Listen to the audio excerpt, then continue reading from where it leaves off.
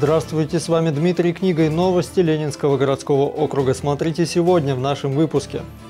Губернатор Андрей Воробьев призвал упростить процедуру ежемесячных выплат малообеспеченным семьям на детей от 3 до 7 лет. Для нас очень важно, чтобы каждая семья четко понимала, на какие выплаты она может рассчитывать. Скоро их лица появятся на баннерах округа. Врачи – участники нового социального проекта. Сейчас, наверное, немножко полегче. У нас уже э, кто-то на вызовах, кто-то на приеме работает. На что способна балалайка? Мастер-класс по игре на этом инструменте прошел в Видновской школе искусств. Упражнение, которое надо делать, э, чтобы мизинец хорошо играл.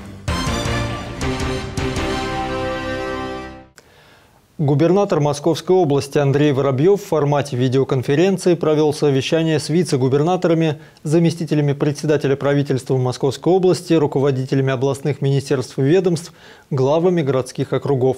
На нем обсуждался ряд актуальных вопросов, касающихся жизнедеятельности региона.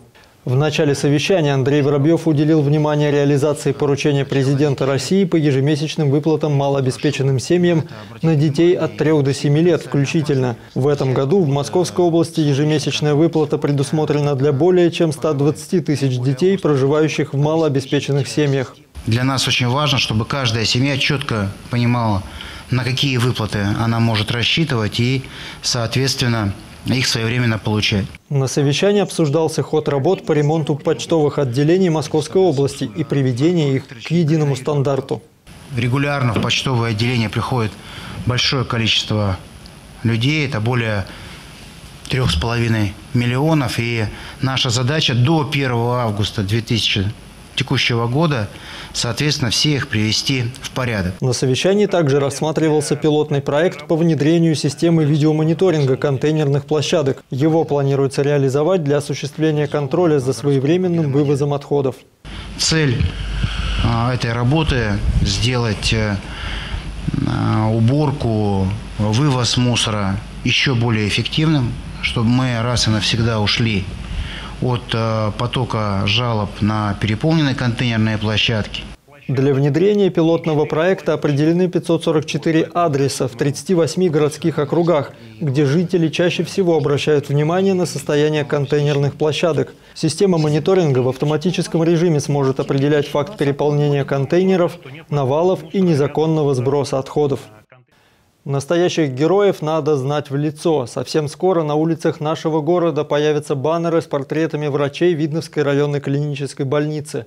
Наша съемочная группа познакомилась с участниками социального проекта, которых по праву можно назвать героями нашего времени.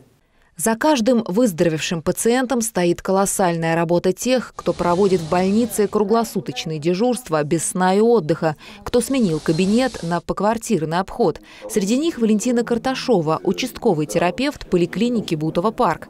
Валентина рассказывает, что в период пандемии было очень много вызовов на дом. Сейчас, наверное, немножко полегче. У нас уже э, кто-то на вызовах, кто-то на приеме работает. Я думаю, что люди соблюдают э, социальную дистанцию, носят маски, э, и поэтому, наверное, чуть-чуть стало и прививается. Инициатива социального фотопроекта исходит от благодарных пациентов, чтобы видновчане и гости города знали в лицо тех, кто выполняет свой долг в непростых и опасных условиях. Некоторые трудятся целыми семьями, как доктора Сокины. В 1953 году начинала главным врачом так скажем, моя мама, моя теща. По ее стопам пошла дочь, э, я уже был выпускник института. По стопам родителей пошел и сын Василия Осокина, Виталий. С будущей профессией он определился уже в школе. Был победителем неоднократных в районных олимпиадах по химии, поэтому эти науки, которые необходимы были в университете, у меня не удавались, как говорится, и побеждал на Олимпиадах, поэтому решил, что это мое. И, и до сих пор считаю, что я не ошибся в своем выборе. Предупредить заболевание намного проще, чем лечить, уверена заведующая отделением медицинской профилактики Лариса Соловьева, которая трудится в Видновской поликлинике для взрослых 35 лет. Основная ее обязанность – диспансеризация населения. На сегодняшний день мы активно а, приглашаем, приветствуем и занимаемся диспансеризацией. Надо отметить, что а, население активно идет на диспансеризацию не просто по болезни, а, а чисто на диспансеризацию, потому что цель диспансеризации как бы обследовать здоровых людей и выявить хотя бы факторы риска, если есть какие-то хронические заболевания, которых человек даже не подозревает, и в результате диспансеризации выявляется появляются заболевания, их легче предотвратить, чем потом вылечить. Баннеры с портретами врачей Видновской районной клинической больницы совсем скоро появятся на улицах муниципалитета.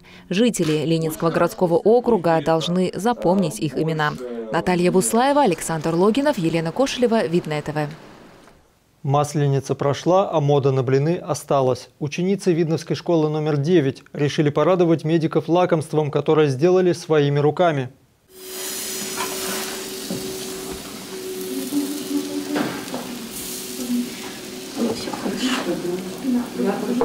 Можно. Кулинария – одна из специализаций уроков технологии в Видновской школе номер 9. Девочки в специально оборудованном классе обучаются навыкам самостоятельного приготовления различных блюд в домашних условиях. В масленичную неделю основное внимание, конечно, блинам, как традиционному праздничному лакомству. Мы впервые э, печем для кого-то блины. В наше нелегкое время все-таки хочется совместить э, приятное для э, детей и полезное, чтобы они понимали, что их работа может приносить пользу для других людей. Сверились со схемой подготовки теста и вперед – Ученицы 8 Б-класса несколько часов провели у плиты, приготовив по меньшей мере три тарелки блинов. Чуть позже они отвезут их видновским врачам. В Ленинском городском округе стартовала общероссийская акция «Сообщи, где торгуют смертью». В рамках мероприятия сотрудники правоохранительных органов проводят профилактические беседы с подростками на тему наркомании.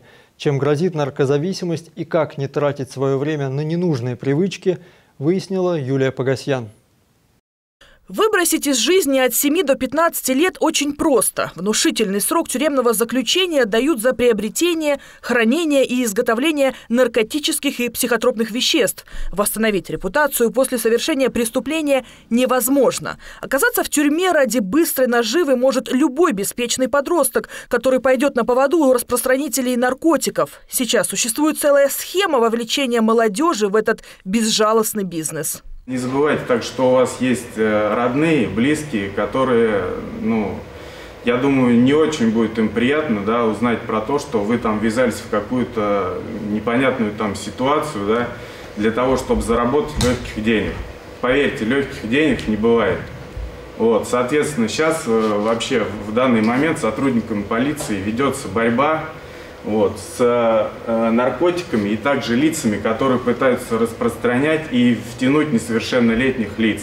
Помимо борьбы с преступниками, сотрудники полиции проводят профилактические лекции с подростками. Сегодня правоохранители посетили колледж Московия в поселке Развилка. Общались со студентами первого и второго курсов. Это очень важный был день для всех студентов, потому что такие профилактические беседы очень влияют на мировоззрение самих подростков, поскольку они теперь смогут э, думать перед тем, как что-то сделать. Ведь они знают теперь все свои э, ну, то есть ответственность за то или иное действие. Ребята отметили, что дружить и даже просто общаться с бывшими заключенными они бы не стали. И никто из студентов не хотел бы для себя такой участи. Вставать на этот путь не стоит никому, я считаю.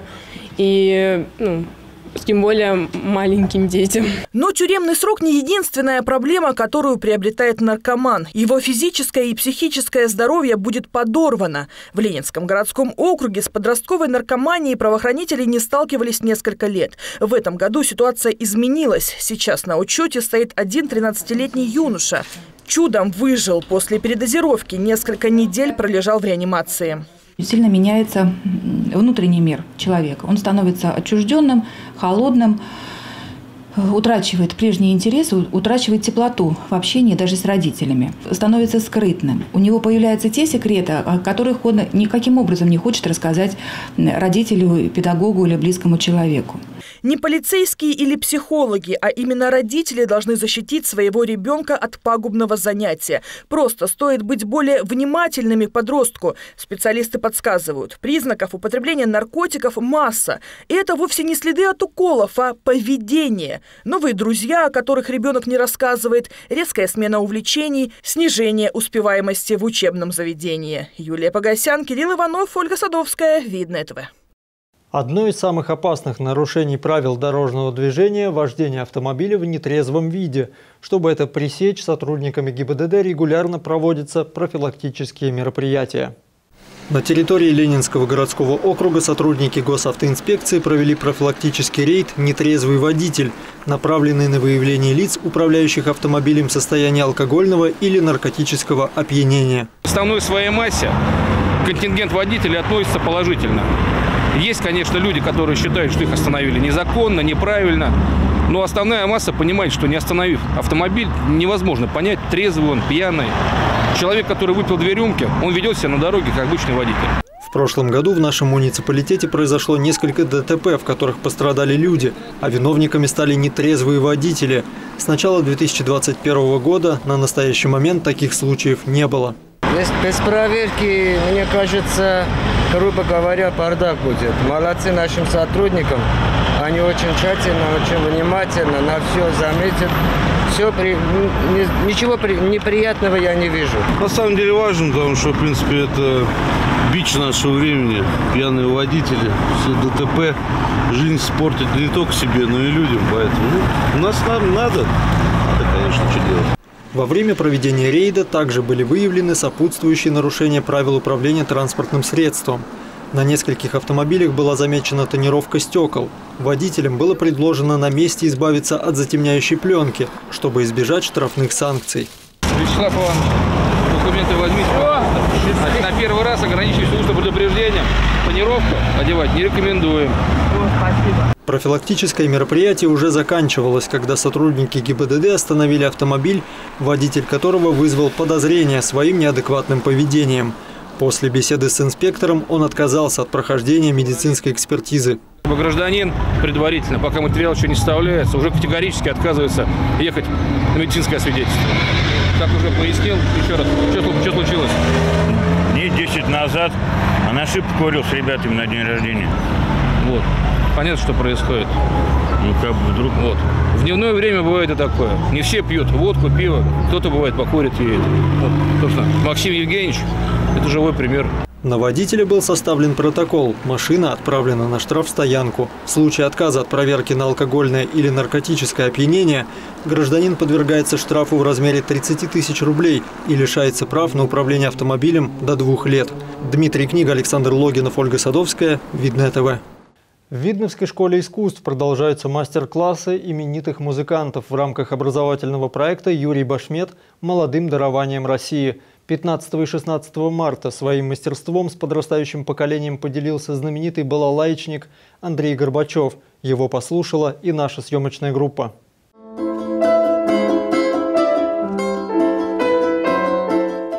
Профессор Российской академии музыки имени Гнесиных и лауреат международных конкурсов Андрей Горбачев в проекте «Юрий Башмет. Молодым дарованием России» участвует практически с самого запуска. В Видновской ДШИ он уже несколько лет проводит мастер-классы с юными, подающими надежды музыкантами.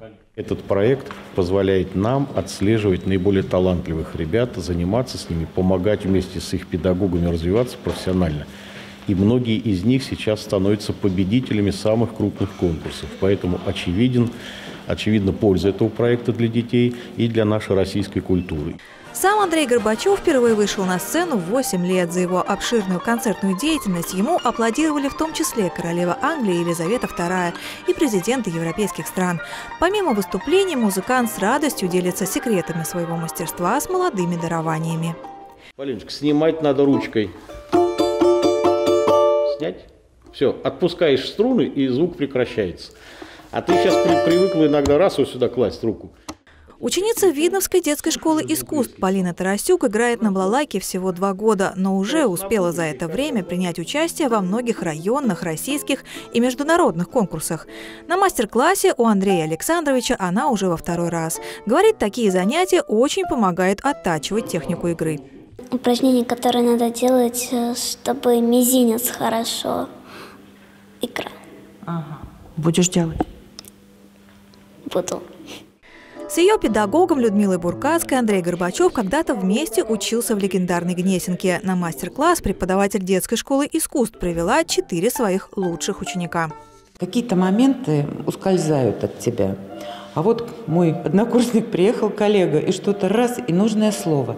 Или иной раз другое слово, которое ребенок поймет. Вот как объяснить эм, тот же самый, например, момент объяснить, но с другой подачей. И это очень помогает нам потом в будущем. Всего же в мастер-класс знаменитого балалаечника Андрея Горбачева на этот раз посетили 11 юных музыкантов, среди которых не только учащиеся детских школ искусств Ленинского городского округа, но и ребята из Москвы и других городов Подмосковья. Екатерина Борисова, Кирилл Иванов, Елена Кошелева. Видно этого. На сегодня это все новости. Всего вам доброго и до свидания.